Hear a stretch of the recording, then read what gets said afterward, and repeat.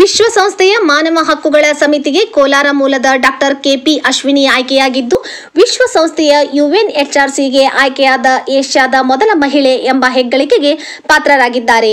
ಕೋಲಾರದಲ್ಲಿ ಜನಿಸಿ ಸ್ನಾತಕೋತ್ತರ ಪದವೀಧರೆಯಾಗಿರುವ ಅಶ್ವಿನಿ, ಸದ್ಯ ಬೆಂಗಳೂರಿನ ಖಾಸಗಿ ಕಾಲೇಜಿನಲ್ಲಿ ಅತಿಥಿ ಉಪನ್ಯಾಸಕರಾಗಿ ಕೆಲಸ ಮಾಡುತ್ತಿದ್ದು, ಬೆಂಗಳೂರಿನಲ್ಲಿ ತಂದೆ ತಾಯಿಯೊಂದಿಗೆ ವಾಸವಾಗಿದ್ದಾರೆ.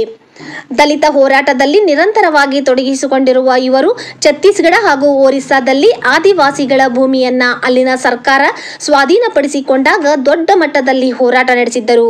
ಇದೀಗ ವಿಶ್ವಸಂಸ್ಥೆಯ ಮಾನವ ಹಕ್ಕು ಸಮಿತಿಗೆ ಅಶ್ವಿನಿ ಆಯ್ಕೆ ಹಿನ್ನೆಲೆಯಲ್ಲಿ ಕೋಲಾರದ ಪತ್ರಕರ್ತರ ಭವನದಲ್ಲಿ ಅಶ್ವಿನಿ ಅವರಿಗೆ ರೇಣುಕಾ ಯಲ್ಲಮ್ಮ ಬಳಗದಿಂದ ಆತ್ಮೀಯವಾಗಿ ಸನ್ಮಾನಿಸಿ ಗೌರವಿಸಿದರು. ಕಾರ್ಯಕ್ರಮದಲ್ಲಿ ಪೋಷಕರಾದ ಪ್ರಸನ್ನಕುಮಾರ್ ಹಾಗೂ ಜಯಮ್ಮ ಸೇರಿದಂತೆ ಕುಟುಂಬಸ್ಥರು ಭಾಗಿಯಾಗಿದ್ದರು.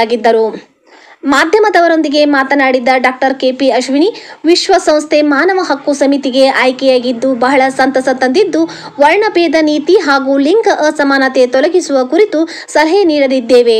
ದೊಡ್ಡ ಜವಾಬ್ದಾರಿಯನ್ನ ಎಚ್ಚರಿಕೆಯಿಂದ ನಿರ್ವಹಣೆ ಮಾಡುವುದಾಗಿ ಸಂತಸ ಹಂಚಿಕೊಂಡಿದ್ದಾರೆ. ಡಾಕ್ಟರ್ ಕೆಪಿ ಅಶ್ವಿನಿ ಅವರ ತಂದೆ ಪ್ರಸನ್ನಕುಮಾರ್ ಮಾತನಾಡಿ ಮಗಳ ಸಾಧನೆಗೆ ಸಂತಸ ವ್ಯಕ್ತಪಡಿಸಿದ್ದು ಇಡೀ ಭಾರತ ದೇಶದಲ್ಲೇ ಪ್ರಪ್ರಥಮ ಮಹಿಳೆ ವಿಶ್ವಸಂಸ್ಥೆಯ ಮಾನವ ಹಕ್ಕು ಸಮಿತಿ ಸದಸ್ಯೆಯಾಗಿ ಆಯ್ಕೆಯಾಗುವ ಮೂಲಕ ದೇಶದ ಹಾಗೂ ಕೋಲಾರ ಜಿಲ್ಲೆಯ ಕೀರ್ತಿಯನ್ನ ಹೆಚ್ಚಿಸುವಂತೆ ಮಾಡಿದ್ದಾರೆ ಎಂದು ಅರ್ಬನ್ ಕಾನ್ಫರೆನ್ಸ್ ಆದಮೇಲೆ ಜಾತಿ ತಾರತಮ್ಯದ ಬಗ್ಗೆ ವಿಶ್ವಸಂಸ್ಥೆಯಲ್ಲಿ ಬಹಳ ಚರ್ಚೆ ಆಗಿದೆ ಆ, ಭಾಳ ಜನ ಮರ್ತೋಗ್ತಾರೆ, ಒಂದು ಕನ್ವೆನ್ಷನ್ ಇದೆ. Convention to eliminate racial discrimination ಅಂತ. ಆ ಕನ್ವೆನ್ಷನಲ್ಲಿ descent and occupation based discrimination ಅಂತ ಸ್ಪೆಸಿಫಿಕ್ ಆಗಿ ಅದನ್ನು ಗುರುತಿಸ್ಕೊಂಡಿದ್ದಾರೆ. ಸೊ ಒಂದು ಇಂಡೈರೆಕ್ಟ್ ರೀತಿಯಲ್ಲಿ ಅದು ಜಾತಿ, ತಾರತಮ್ಯದ ಬಗ್ಗೆನೇ ಮಾತಾಡುತ್ತೆ. ಅದ್ರ ಜೊತೆಗೆ ನನಗಿಂತ ಮುಂಚೆ ಇದ್ದವರು ಸ್ಪೆಷಲ್ ರ್ಯಾಪಟರ್ ರೇಸಿಸಮ್ ಅವರು ಜಾತಿ ತಾರತಮ್ಯದ ಬಗ್ಗೆ ಅವರ ರಿಪೋರ್ಟಲ್ಲಿ ಸ್ಪೆಸಿಫಿಕ್ ಆಗಿ ಮೆನ್ಷನ್ ಮಾಡಿದ್ದಾರೆ. ಸೊ ವಿಶ್ವಸಂಸ್ಥೆಯಲ್ಲಿ ಕಾಸ್ಟ್ ಬಗ್ಗೆ ಅದನ್ನು ನೆಗ್ಲೆಕ್ಟ್ ಮಾಡಿದ್ದಾರೆ ಅಂತ ಕೂಡ ಹೇಳೋಕ್ಕಾಗಲ್ಲ. ಬಹಳ Dalit activists Dalit academicians bureaucrats politicians ಇದ್ರ ಬಗ್ಗೆ ಎಲ್ಲ ಗ್ಲೋಬಲ್ ಸ್ಟೇಜಲ್ಲಿ ಚರ್ಚೆ ಮಾಡಿದ್ದಾರೆ. ನನ್ನ ಜ್ಯೂರಿಸ್ಡಿಕ್ಷನ್ಗೆ ಬಂದಂತೆ ಇದು ರೇಸ್ ಕಾಸ್ಟ್ ಬಹಳ complementary there all complementary to each other and I will try my best to address all of this ಇದ್ರ ಬಗ್ಗೆ ಹೇಳ್ಬೇಕಂತಂದರೆ ಇದು ನನ್ನ ನನ್ನ ಹೋಮ್ ಟೌನ್ ನನ್ನ ಪೇರೆಂಟ್ಸ್ ಇಲ್ಲಿಂದ ನಾನು ಯಾವಾಗಲೂ ಚಿಕ್ಕವಳಿದ್ದಾಗ ಇಲ್ಲಿ ರಜೆಗಳಿಗೆ ಬರ್ತಿದ್ದೆ.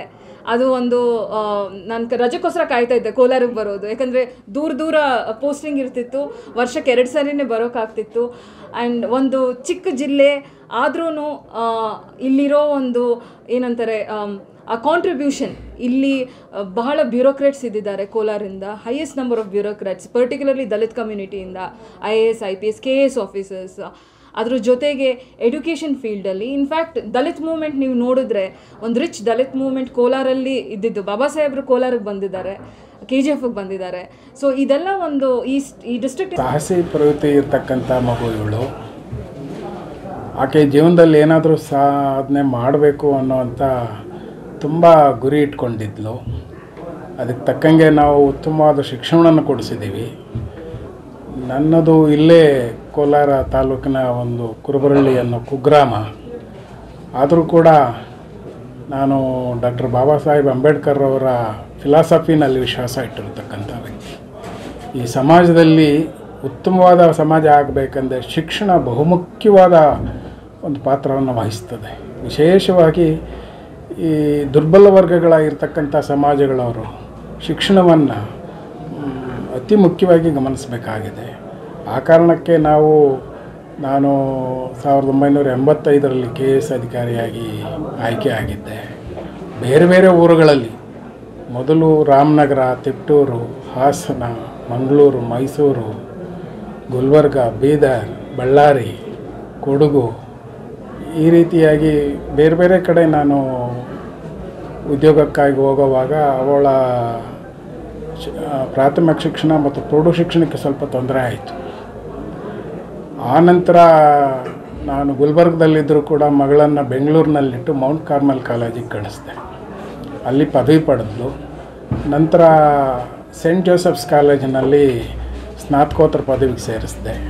ಅದು ಮುಗಿದ ನಂತರ ಆಕೆ ಜೈನ್ ಯು ಡೆಲ್ಲಿನಲ್ಲಿ ನಾನು M Phil P H D ಮಾಡಬೇಕು ಅಂತ ಆಸೆಯನ್ನು ವ್ಯಕ್ತಪಡಿಸಿದ್ಲು. ಅದಂತ ಡೆಲ್ಲಿಗೂ ಕಳಿಸ್ಕೊಟ್ಟೆ. ಅಲ್ಲಿ ಪಿ ಎಚ್ ಡಿ ಎಲ್ಲ ಮುಗಿಸಿ ಈಕೆ ಬಂದಿದ್ದಾರೆ. ಬಂದ ಮೇಲೆ ಆಮ್ನೆಸ್ಟಿ ಇಂಟರ್ನ್ಯಾಷನಲ್ನಲ್ಲಿ ಒಂದು ಎರಡು ವರ್ಷ ಕೆಲಸ ಮಾಡಿದರು.